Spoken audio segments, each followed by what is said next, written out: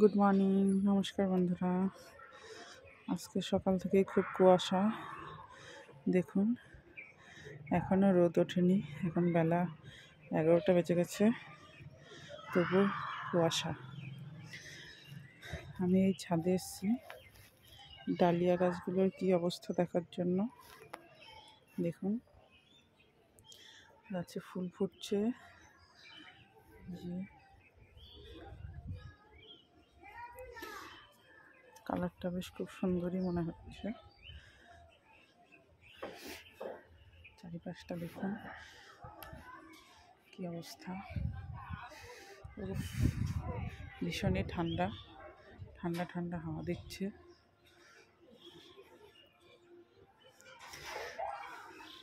সকালের খাওয়া দাওয়া হয়ে গেছে, দুপুরের প্রস্তুতি চলছে। আজকে দুপুরে হবে চিকেন কষা।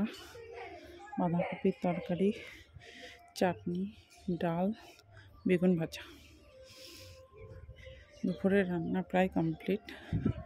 তারপর বিকালবেলা হবে পিঠে।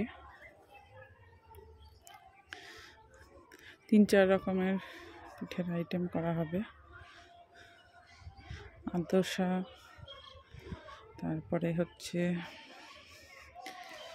মালপোয়া পুলি পিঠে সরা পিঠে অনেক রকম আইটেম করা হবে। অনেকটাই সময় লাগবে পিঠে করতে। এই জন্য সকালের খাওয়া দাওয়া করার সঙ্গে সঙ্গে দুপুরে রান্নাও কমপ্লিট করে নেওয়া হয়েছে। তারপর পিঠে বানাতে বসতে হবে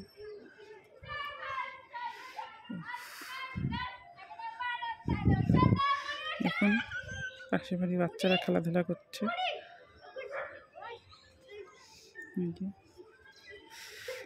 দেখতেই পাচ্ছেন পাশের বাড়ি অনুষ্ঠান হচ্ছে, ছাদে প্যান্ডেল করেছে।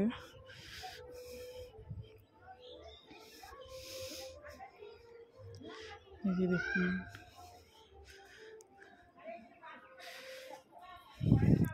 পাশেই জঙ্গল। দেখুন।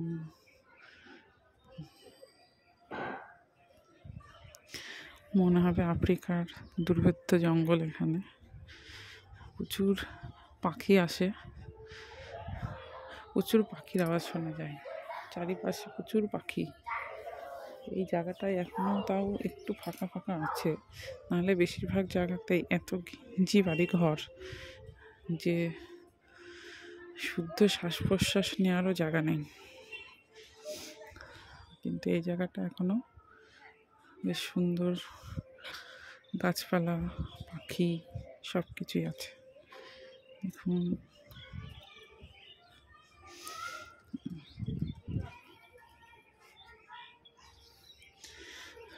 দেখুন, একটা পেঁপে গাছ আর আছে সুপারি গাছ। যে আম গাছ, এই গাছগুলোতে প্রচুর আম ধরে। সব সুন্দর আম হয়। আমটা খেতেও খুব ভালো। আম্রপল্লী গাছের আম এগুলো।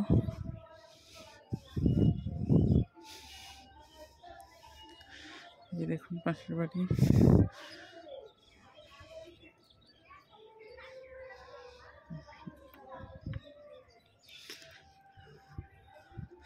প্রচুর পাখির আওয়াজ চারিপাশে।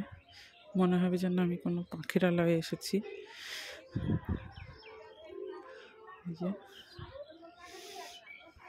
দেখুন এখন হচ্ছে ছাদ থেকে ঘরে যাব। ঘরে গিয়ে আবার স্নান ধান করে পুজো টুজো দিয়ে নিয়ে দুপুরের খাবারটা তাড়াতাড়ি খেয়ে ফেলতে হবে। খেয়ে নিয়ে পিঠে তৈরির প্রস্তুতি শুরু হবে। পিঠে তৈরির ব্লগটা অন্য একটা ব্লগে দেখিয়ে দেবো। এই ব্লগে শুধু সকালবেলার দৃশ্যটাই দেখালাম। এরপরে পিঠে কীভাবে তৈরি করছি, কী কী পিঠে তৈরি করছি, সেগুলো আবার পরের ব্লগে দেখাবো আপনাদের।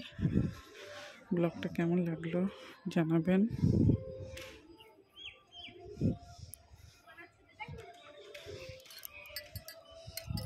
কি করছিস?